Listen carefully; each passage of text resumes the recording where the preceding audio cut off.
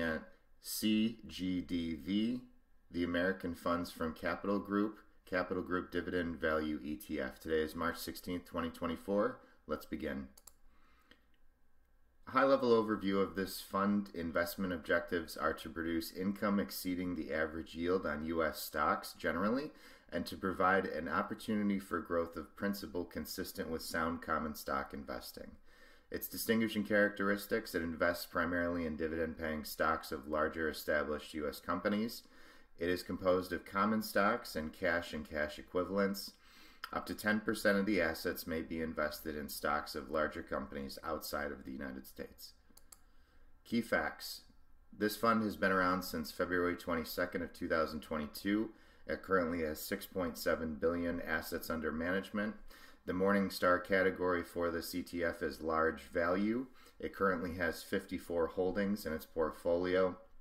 Its major asset allocation is 96.82% equities. It does not derive income from derivatives.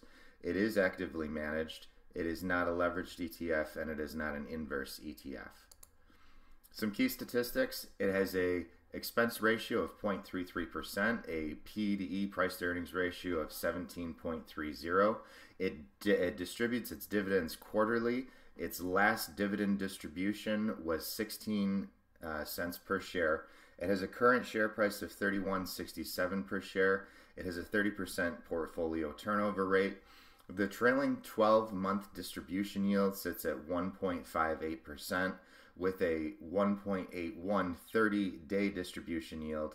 It has a total return year to date of 5.76% today in 2024 with a one year total return of 30.05% and a since inception lifetime total return of 13.95%.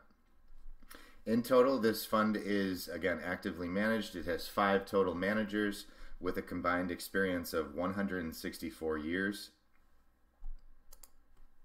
Its top 10 holdings are Broadcom at 7.2%, General Electric at 5.7%, Microsoft at 5.28%, RTX Corp at 5.05%, American International Group AIG at 3.67%, Meta Platforms Inc. Class A 3.66%, Carrier Global Corp 3.63%, Philip Morris International 3.36%, British American Tobacco at 2.71%, and Abbott Labs at 2.70%. The equity breakdown uh, exposure into uh, each region would be industrials. It is exposed about 22.9% there. Information technology exposure of about 19.3%. Healthcare exposure 14.3%. Financials 8.8%. Consumer discretionary 7.2%. Consumer staples 6.8%. Materials 5.7%. Communication services at 4.8% and energy at 3.7%, followed by utilities at 2.8%.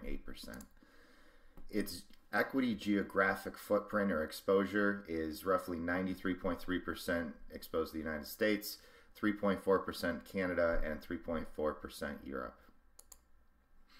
Disclaimer I am not a financial advisor. Please do not take any of this information as financial advice. This information is purely for entertainment and educational value only.